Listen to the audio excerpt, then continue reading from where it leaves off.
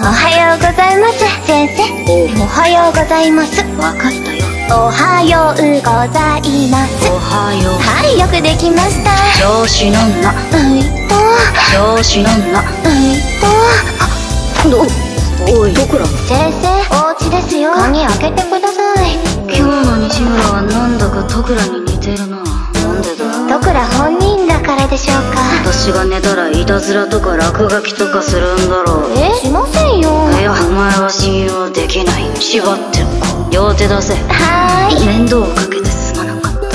先生がしおらしくなってる。ああもう酒やめるえ。え酔った先生可愛かったのに。家探しとかするなよ。不安ならまた縛ります？蒸し返すな。先生もブラックですよ大人だからな酔っ払って生徒に解放される大人。いいと思